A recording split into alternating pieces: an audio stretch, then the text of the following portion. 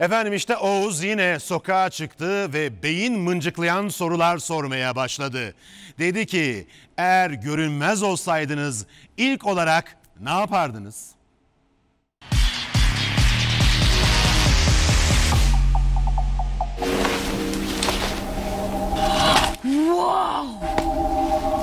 Ne bileyim yani korkunç bir şey. Düşünsene hiç kimse görmüyor seni. Hastalandın bir şey oldu. Ne yaparsın? Görünmezlik deyince öyle olmak hiç istemiyorum. Görünmek istiyorum.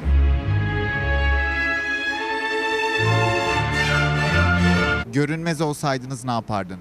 Sınavlarda kopya çekerdim. Görünmez olsaydım ne yapardım? Görünmez olsaydınız ne yapardınız? Ne yapardım?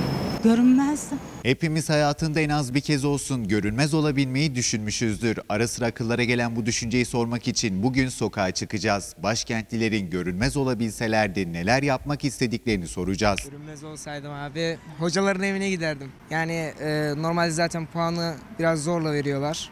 O yüzden yani kendim puan yükseltmeye çalışırdım. Eğer size görünmezlik iksiri verseydim ne yapardınız?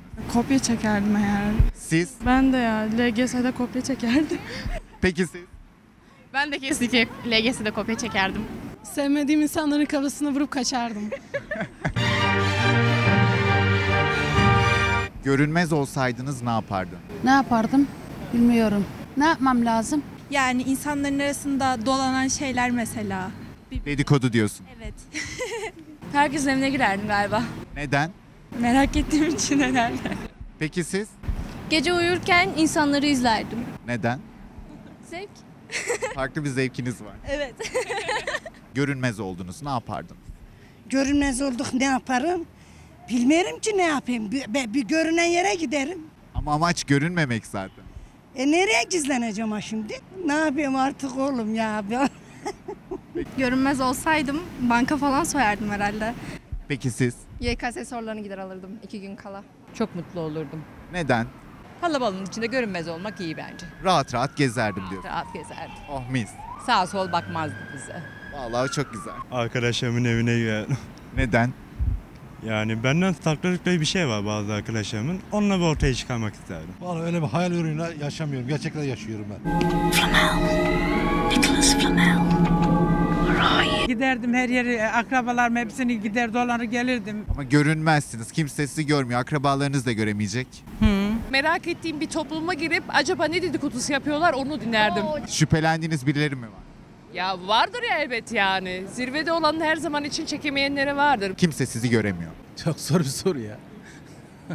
Bu gövdeyle nasıl yürümeyecek? hiç, hiç girmeyelim o konuya. Hakkımda ne konuştuklarına bakardım. Birkaç kişinin. Ben hekimim. İşlem bittikten sonra hastanın tedaviyle ilgili memnun kalıp kalmadığını böyle yorumlamasını falan merak ederdim. Vallahi boğazını sıkardım. Çok var öyle sevmediğim insanlar. Büyük ihtimal eşimi takip ederdim. Neden efendim? Neler Ben de eşimi takip ederdim. Siz neden takip ederdiniz? paraları nerede yiyor?